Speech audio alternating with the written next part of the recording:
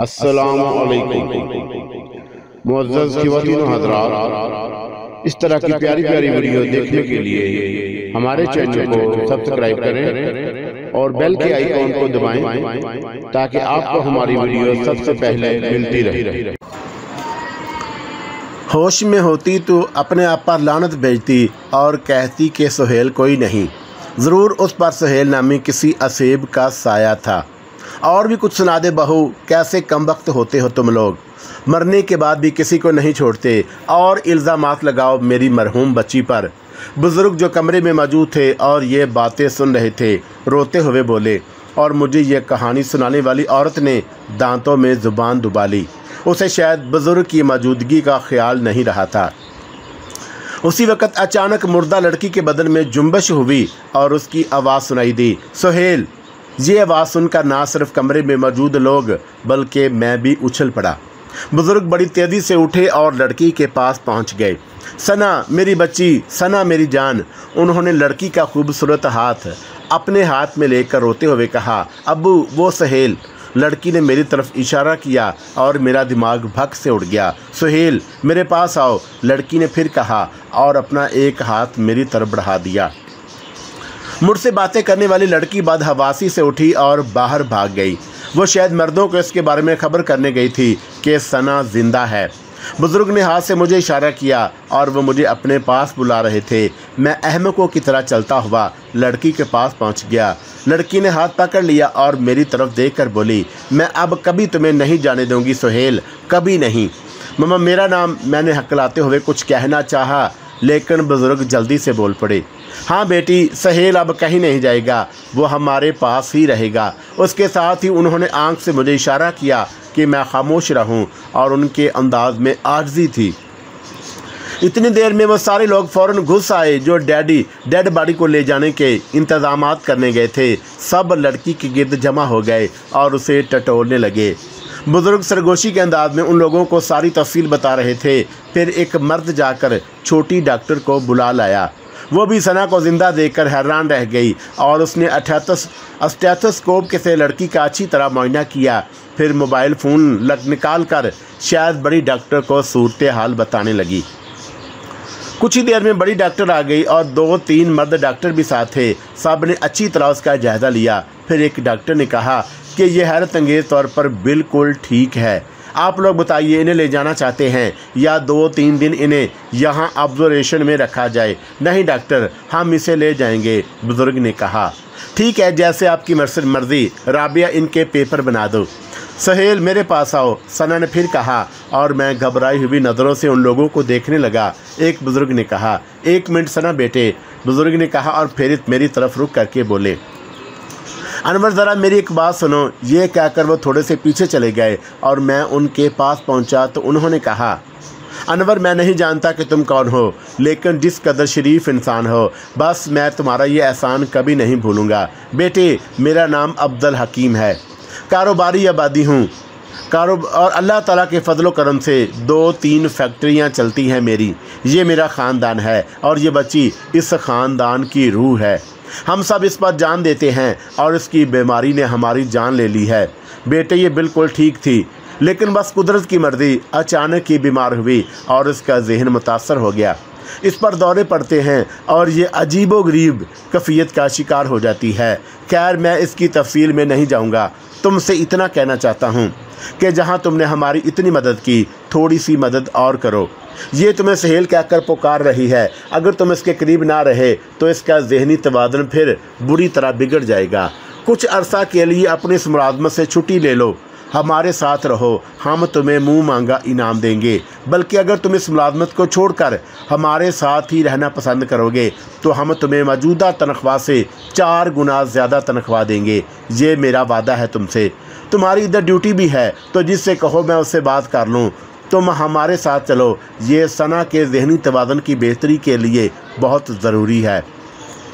मेरा दिल खुशी से खिल उठा था। क्या शानदार मौका अता किया था कुदरत ने।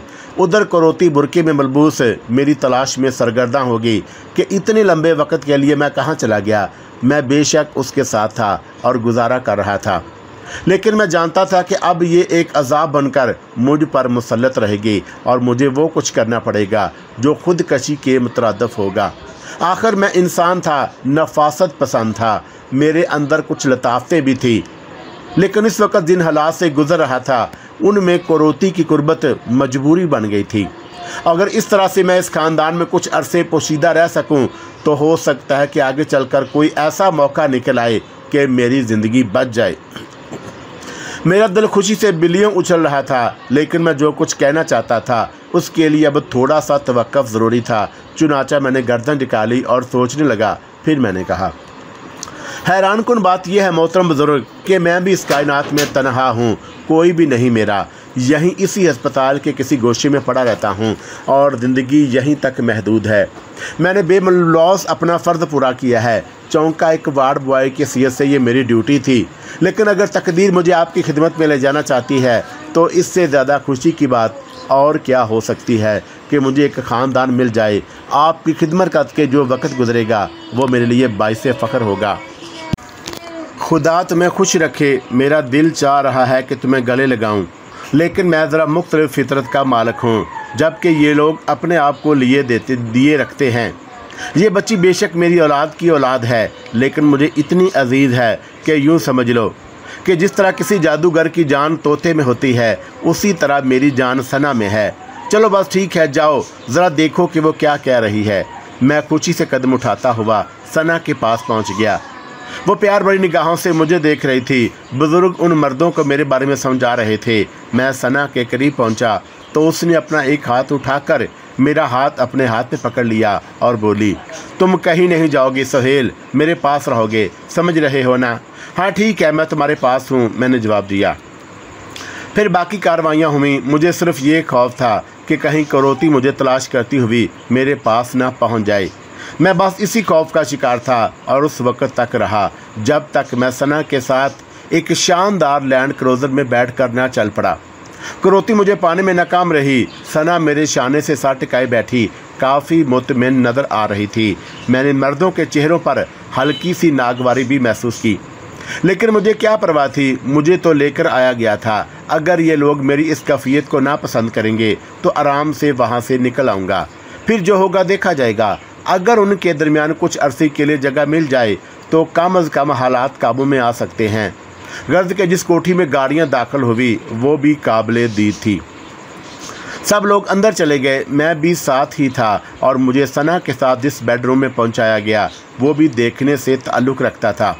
बेहतरीन एयर कंडीशन बेडरूम जहाँ आला तरीन फर्नीचर पड़ा हुआ था। फिर मर्दों में से एक शख्स ने मुझे अपने पास बुलाया और बोला, अनवर है ना तुम्हारा? नाम, जी सर। देखो अनवर, हम अपने वालद की बहुत ज़्यादा इज़्ज़त करते हैं। मैं सना का बाप हूँ। मेरा नाम अब्दुल सईद है।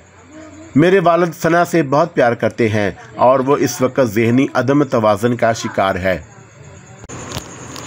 और पता नहीं तुम उसके जेन में सुहेल की हसीियत से क्यों आ गए हो। मुमकिन है वह तुम्हें अपने साथ रखने पर इसरार करे, लेकिन अगर तुम एक शरीफ नौजवान हो तो हमारी इज़्ज़त व आबरू का ख्याल रखना। मैं तुम्हें धमकी नहीं दे रहा, क्योंकि तुम अजराह इंसानियत यहाँ आए हो, जिसकी मैं दिल से कदर करता हूँ, लेकिन अनवर अपनी हदूद में रहना, हमारी मजबूरी से कभी फ़ायदा ना उठाना। वरना तुम ये समझ लो कि तुम्हारी ज़िंदगी का दुश्मन बन जाऊँगा। मैंने पुरअदब लहजे में कहा कि, जनाब अली, ये तो आप पर मुनहसर है। मुझे तो मेरी नौकरी ख़त्म कराकर यहाँ लाया गया। मुझे कोई दिलचस्पी नहीं कि मैं यहाँ रहूँ। आप बेशक अपने मामला खुद देखिएगा। अगर इज़्ज़त से मुझे यहाँ रखना चाहते हैं तो मैं कतई इस बात में दिलचस्पी नहीं रखता कि आप मुझे सना के साथ रखें। मैं गरीब आदमी हूँ, लेकिन आपसे दरख्वास्त करता हूँ, हाथ जोड़कर। कि मेरी तोहन ना करें। नहीं बेटे, नहीं, मैं तुम्हारी तोहन नहीं कर रहा। बस खदशे का अजहार कर रहा हूँ। ज़ाहिर है कि जवान बेटी का बाप हूँ, तुम ख्याल रखना। जी, मैंने किसी कदर नाखुशगवार लहजे में कहा, और वैसे भी हकीकत ये है कि मैं तो सिर्फ़ कुरोती से जान छुड़ाना चाहता था। मुझे इस आलीशान कोठी में रहने से कोई दिलचस्पी नहीं थी। लेकिन वही हुआ, मुझे पहनने के लिए मेरे ही साइज़ के लिबास दिए गए। यकीनी तौर पर किसी के होंगे। वो लिबास तब्दील करके मैं सना के पास जाना चाहा, लेकिन उसने मुझे फिर पकड़ लिया। कहाँ जा रहे हो सोहेल? कहाँ जा रहे हो? रात बहुत ज़्यादा हो चुकी है सना। मैं सोने जा रहा हूँ। क्या मतलब? तुम कहीं और जाकर सोओगे? हाँ सना, मेरा आपके कमरे में सोना मुनासिब नहीं। हरगिज़ नहीं, मैं पागल हो जाऊँगी सोहेल। तुम्हें यही रहना है। बुज़ुर्ग ने फ़ौरन मेरे शाने पर हाथ रखते हुए कहा हाँ बेटे, कोई बात नहीं, तुम्हारे लिए बिस्तर लगवा देते हैं। सारा इंतज़ाम किया गया। ये सब कुछ बेहद अजीब था और हकीकत यह है कि मेरे दिन में वाकई कोई खोट नहीं थी। लेकिन जब कोठी में सन्नाटा छा गया और हर तरफ़ खामोशी हो गई तो सना अपनी जगह से उठी और मेरी तरफ़ मुस्कुराई और बोली, सो गए सहेल, नहीं, मैं तुम्हारे पास आ जाऊँ। क्यों? मैंने घबराई हुई आवाज़ में कहा और वह हंसती हुई अपनी जगह से उठी और मेरे पास पहुँच गई। हकीकत यह है कि मेरे आसान खता हो गए, लेकिन सना की लगावट मुझे अजीबो गरीब रास्ते दिखा रही थी और फिर ये लगावट मेरी मजबूरी बन गई। जो कुछ भी था, मुझे अपनी ज़िंदगी अज़ीज़ थी। एक बेचारे मसनफ़ पर जो बीत रही थी, उसका दिल ही जानता था। अब मैं आपको क्या बताऊँ? दूसरी सुबह मेरे लिए बड़ी सहर अंगेज थी। दिल कश सना मेरे वजूद में समा चुकी थी और मैं सोच रहा था कि काश इसका जहनी तोज़न ऐसा ही रहे। मेरी अच्छी खासी पजीराई हो रही थी। दिलचस्प बात यह थी कि किसी ने मुझे मशकूक निगाहों से नहीं देखा। हालाँकि यहाँ किसी को ये पता चल जाता कि मुझे गरीब ना चाहने के बावजूद कैसी रात गुजारी है तो मेरी तो कोई ना सुनता और यही कहा जाता कि आखिर मैं नीच था। एक घटिया सा वार्ड बॉय, जबकि ऐसी बात नहीं थी। मैं वार्ड बॉय था ही नहीं, बल्कि एक नामूर मुसन्फ़ था। एक और शुक्र की बात यह थी कि यहाँ शायद एक भी शख्स ऐसा नहीं, जो अदब से दिलचस्पी रखता हो, या नावल या कहानियाँ और अफसाने पढ़ता हो। वरना मेरे नावल पर मेरी तस्वीर भी हुआ करती थी। मुझे उस शक्ल में बासानी पहचाना जा सकता था। खैर जनाब, बेहतरीन नाश्ता मिला। बदले हुए लिबास में मेरी शख्सियत फिर निखर आई। मैंने देखा कि कई निगाहों ने मुझे गौर से देखा। ऐसे वक्त में मेरा दिल लर्ज जाता। लेकिन वही बात जिस पर मैं खुदा का शुक्र अदा कर चुका हूँ कि उनमें से किसी को भी नावल अफसाने और कहानियाँ पढ़ने से कोई दिलचस्पी नहीं थी और मुझे नहीं पहचाना गया। दिन भर खातर मदारत हुई और फिर दूसरी रात आ गई।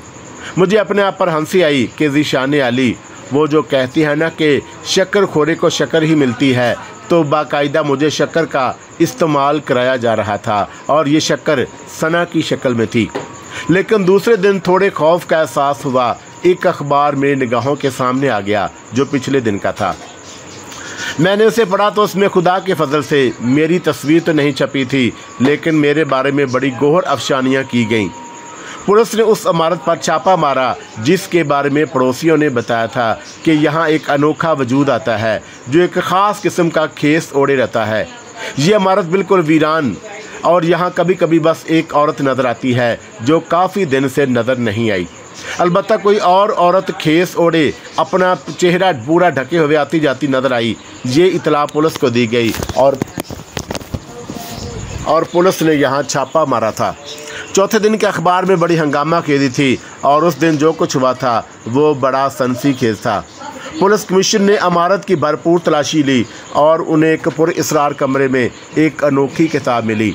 वो पत्थर की किताब थी जो बहुत बड़ी थी और कमरे की वसतों में फैली हुई थी।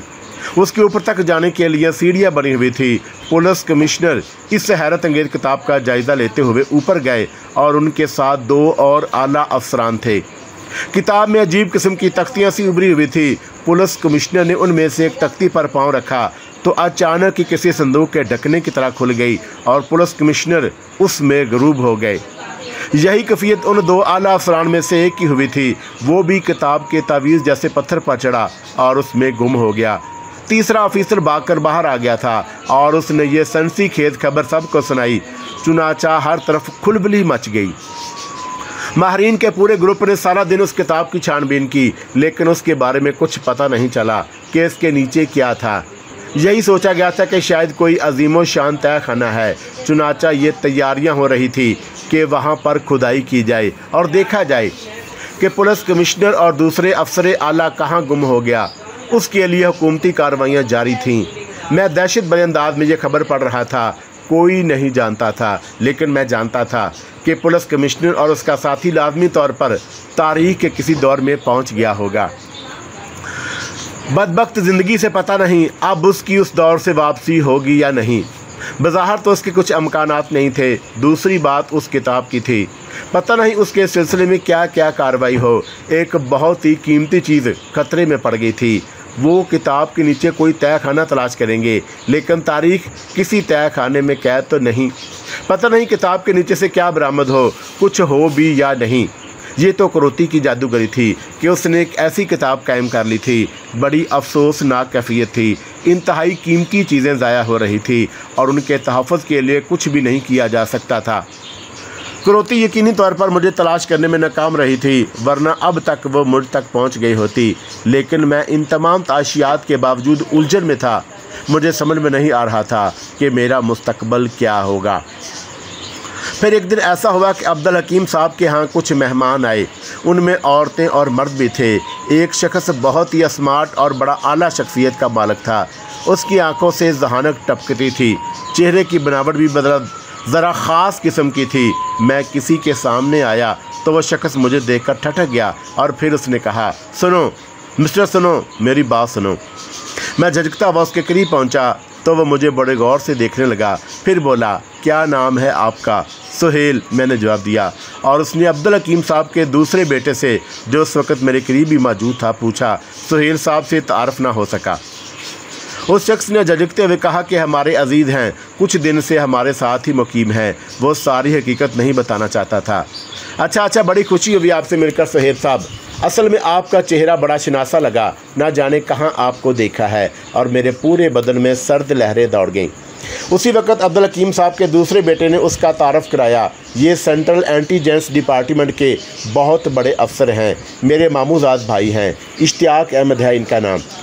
उस आदमी ने मुस्कुराकर गर्दन हिलाई थी, लेकिन मेरे पाँव बेजान हो रहे थे।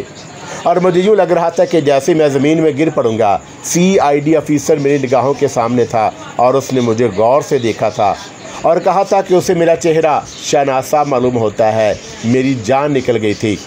और लाजमी अमर था कि उसने मुझे पहचान लिया है। पुलिस बल का सी आई सी आई डी का अफसर आला ऐसे ही नहीं बन गया होगा।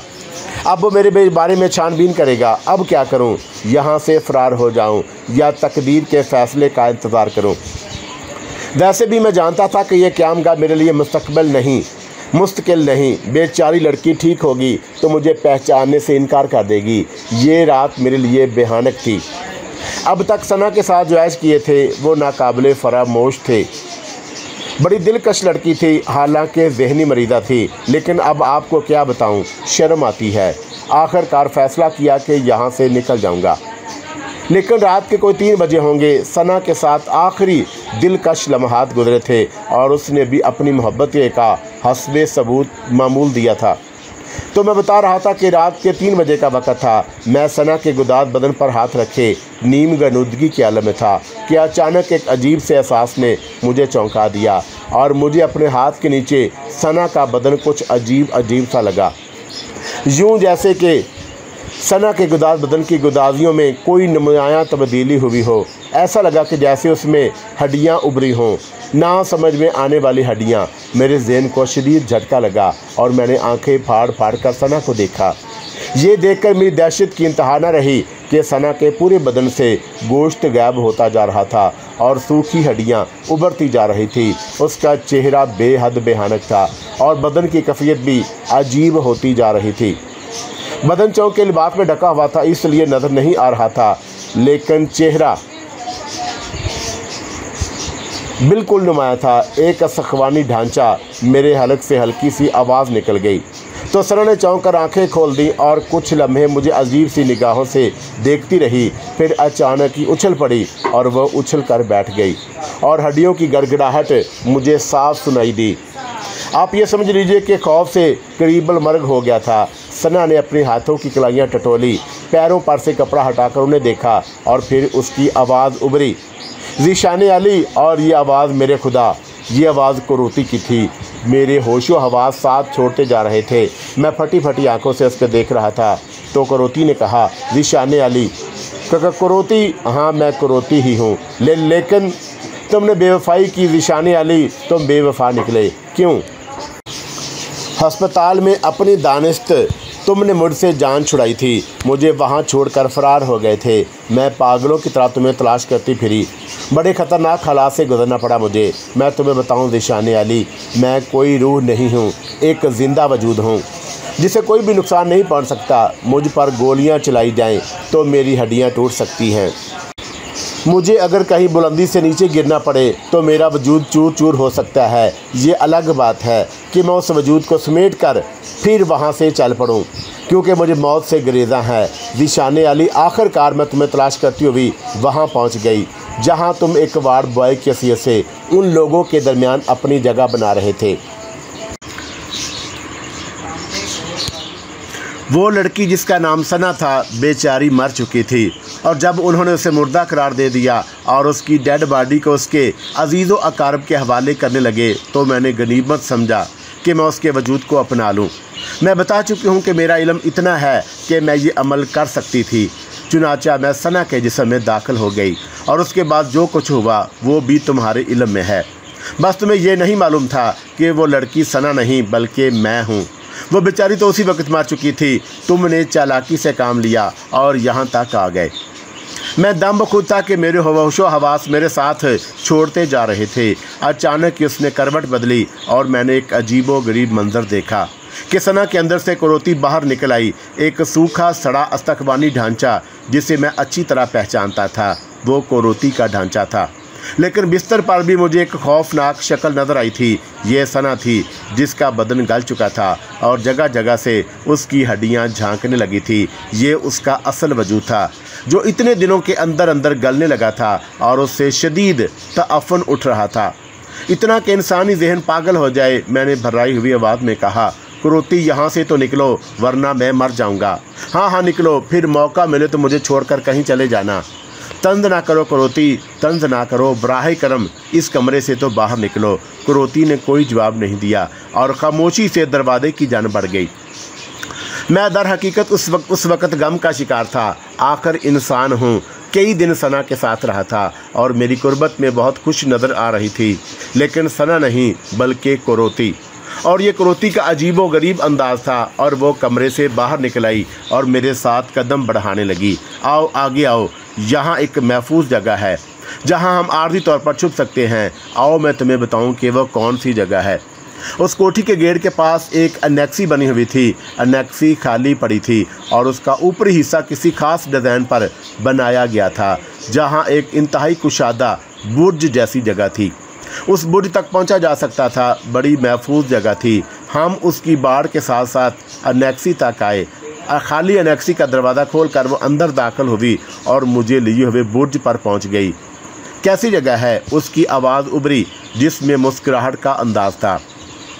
मैं ऊपरी सांस लेने लगा। जगह के बारे में तबसरा क्या करता? मुझे करोती की हँसी सुनाई दी। फिर उसने कहा, पूरी ज़िंदगी का तजर्बा है मेरा, और मैं जिस ज़िंदगी की बात करती हूँ, वो एक कदीम तारीख है। तो मैं अपने तजर्बे के बारे में बता रही थी।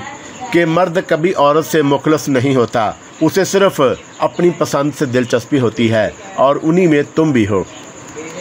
खैर, वक़्त गुजरा और फिर हमने बुर्ज के रोशनदानों से देखा कि पूरी कोठी में भगतर मच गई। मुलाजम और दूसरे लोग भाग दौड़ रहे थे। मज़ीद ये हुआ कि दिन के दस बजे के करीब पुलिस की कई गाड़ियाँ दंदनाती हुई कोठी में घुस आईं और कोठी की नाकाबंदी होने लगी। फिर कुछ और हुआ करोती दिलचस्पी से, ये तमाशा देख रही थी। लेकिन मेरे औसान खता थे। मैंने कहा कि क्या कहती हो? अरे, कैसे अदीब हो तुम? सूरत हाल से हालात का जायज़ा नहीं ले सकते और अंदाज़ा नहीं लगा सकते कि क्या हो रहा है। मतलब पहली बाग जो दौड़ जो थी, वो इस सिलसिले में थी कि सना के कमरे से ताफन फैला होगा। सड़े हुए गोश्त का ताफन। क्योंकि बहरहाल वो मुकम्मल तौर पर ढांचा नहीं बनी, बल्कि उसका गोश्त आहिस्ता आहिस्ता गल रहा है और उससे बदबू फैल रही है। तो जब ये बदबू फैली होगी तो लोगों ने वहाँ पहुँच देखा होगा कि क्या सूरत हाल है, और उसके बाद जो भगटर मची है, वो उसका नतीजा थी। और अब जो ये पुलिस की गाड़ियाँ आई हैं, वो सौ फ़ीसदी तुम्हारी तलाश में आई हैं। यार दिशान अली, तुम्हारा तजर्बा सिर्फ़ चंद सालों का है। मेरी ज़िंदगी मेरा ज़िंदगी भर का तजर्बा है और मेरी ज़िंदगी कितनी है, तुम्हें इसका इलम है। इधर कोई नहीं आएगा, बेफिक्र रहो। और अगर नैक्सी में कोई आ भी जाए तो उस बुर्ज के बारे में तो सोचेगा भी नहीं। और फिर जीशान अली, तुम फ़िक्रमंद क्यों हो? अगर सीडीआई वालों ने तुम पर काबू पा भी लिया तो मैं तुम्हें वहाँ से निकाल लाऊँगी। और मुझे एकदम गुस्से आया और मैंने कहा, और अगर उन्होंने तुम पर भी काबू पा लिया तो? मेरे इस जलाए हुए अंदाज पर वो खूब हँसी, फिर बोली तो क्या करेंगे? मुझे सजाई मौत देंगे। मेरी हड्डियों को कुल्हाड़ियों से कूटेंगे और जब वो कूट चुकेंगे तो मैं उठ कर खड़ी हो जाऊँगी और उनकी हवा ख़राब हो जाएगी। मगर मैं तो खड़ा नहीं हो सकूँगा। तुम्हें नहीं मालूम पुलिस कितनी रहम दिल होती है और क्या सलूक करेगी एक मफरूर मुजरम के साथ। अब ये तो गलत बात है। वैसे भी तुमने अपनी जान बचाने के लिए मुझे धोखा दिया था। चलो खैर, तुम मेरे महबूब हो। मैंने ये सब कुछ इस हिसाब में डाल दिया। हम रोशनदान से देखते रहे। एंबुलेंस आई, डॉक्टर आए, नर्सें आईं, पुलिस भाग दौड़ करती रही। अंदर रोने पीटने की आवाज़ें बुलंद होती रहीं। अब्दुल हकीम साहब पता नहीं क्या क्या करते रहे। पूरा दिन ये हंगामा जारी रहा। गालबन सना की तदफीन के लिए कोशिशें की जाती रहीं और उसके बाद शाम को मगरब के वक़्त उसका जनाजा आहों और आंसुओं के साथ ले जाया गया। पुलिस भी शरीक थी, फोटोग्राफर भी आए, प्रेस भी मौजूद था, अजीब से हंगामा रहा। पूरी कोठी लोगों से भरी पड़ी थी और हैरानी की बात थी कि नैक्सी की जरब किसी ने तवज्जा नहीं दी। गालबन वो लोग ये सोच भी नहीं सकते थे कि दो खतरनाक मुजरम इसी कोठी में छुपे हुए हैं। उनका तो ख्याल होगा कि जितनी जल्दी मुमकिन हो सका होगा, वो यहाँ से भाग गए होंगे। लेकिन उन्होंने उन्होंने क्या सोचा होगा? मैंने करोती से कहा, करोती, मुझे शदीद भूख लग रही है। थोड़ा सा इंतज़ार करो, अंधेरा फैल जाएगा और ये लोग ज़रा पुरसकून हो जाएँ। मैं तुम्हारे लिए खाने पिए बगैर हमारे लिए खाने पिए के बगैर गुजर गया है और ये बड़ी अफसोसनाक बात है। लेकिन सबर के सिवा और क्या चारा था? बदन थकन से चूर था, आँखें जल रही थी, दिमाग की जो हालत थी, खुदा ही जानता है। क्रोती इस वक्त एक दीवार से कमर लगाए बैठी थी। अभी हम मदम सी रोशनी हो रही थी, इसलिए कोरोती का हयोला नज़र आ रहा था। मेरे खुदा, मैं खुद अपने बारे में कहता हूँ कि अगर मुझे करोती की असलियत ना मालूम होती और मैं ऐसे किसी ढांचे को इस तरह बैठे देख लेता तो खौफ से मेरी सांस बंद हो सकती थी। ना जाने कितनी देर गुजर गई, तब करोती की आवाज़ उभरी, आली हूँ, नींद आ रही है। हाँ दिल चाह रहा है कि दायमी नींद सो जाऊँ। वाह, क्या दिलकश बात कही। और इसमें क्या दिलकशी है, मैंने जले भुने लहजे में कहा। हवस को है निशाते कार क्या क्या ना हो मरना तो जीने का मज़ा क्या। हाँ मौत कितनी दिलकश चीज़ है। ज़िंदगी से थके हुए किसी इंसान से पूछो।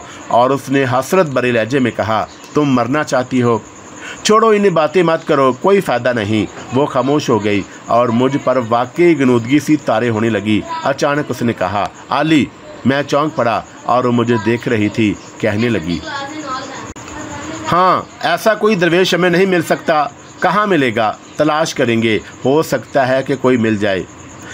मैंने मुख्तसर कहा कि असल में पेट में चूहे दौड़ रहे हैं और इस वक्त कुछ अच्छा नहीं लग रहा। करोती खामोश हो गई। मेरी पलकें फिर जुड़ने लगी और मैं फिर सो गया। पता नहीं ये नींद थी या भूख प्यास की गशी। खैर, उस वक्त माहौल पर गहरा सन्नाटा मुसलत था, जब किसी ने मेरे बदन को हिलाया और मेरे कानों में आवाज़ उभरी, आली, क्या है? मैं हड़बड़ा कर उठ बैठा। नथनों में एक अजीब सी खुशबू आई थी, उम्दा किस्म के कोरमे की खुशबू। अरे अरे, परेशान मत हो, खाना लाई हूँ तुम्हारे लिए, पानी भी है। वैसे नैक्सी में कोई नहीं है, तुम चाहो तो नीचे जा सकते हो। कोई ज़रूरत हो तो। और उस वक्त सबसे बड़ी ज़रूरत खाना है। कहाँ है? क्या कुछ रोशनी हो सकती है? नहीं, रोशनी खतरनाक होगी। एक काम करती हूँ। उसने कहा और एक तरफ़ बढ़ गई। नक्सी में कई रोशनदान थे और जिनमें बाद में शीशे लगे हुए थे। लेकिन गिरद मट्टी से ये शीशे धुंधलाए गए थे और उसने एक रोशनदान खोल दिया और तेज़ रोशनी अंदर घुस आई।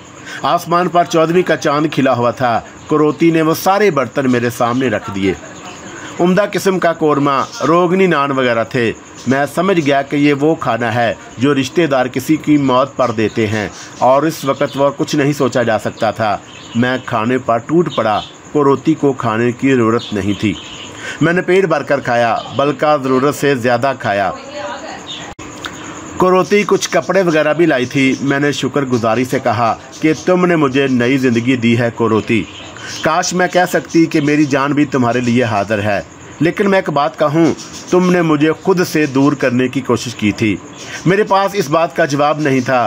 कोरोती खामोश रही, फिर थोड़ी देर के बाद बोली, मैंने तुमसे किसी दरवेश या जादू घर के बारे में कहा था। हाँ तलाश करो, कोई सन्यासी या बुज़ुर्ग ऐसा मिल जाए जो मेरा इलाज कर दे।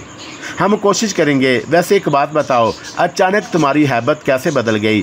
सना का बदन तब्दील कैसे हो गया? ये मेरे लिए भी एक नया तजर्बा था ली वो क्या? जी कि अगर मैं किसी मर्द मुर्दा बदन पर कब्ज़ा करूँ तो बस एक मखसूस वक्त तक ही ये कब्ज़ा कायम रह सकता है, और उसके बाद खुद ब खुद ख़त्म हो जाएगा। पहले कभी ऐसा नहीं हुआ। कभी नहीं, और पहले ये अमल मैंने किया ही नहीं। फिर तुमने सना के बदन पर यह अमल कैसे किया?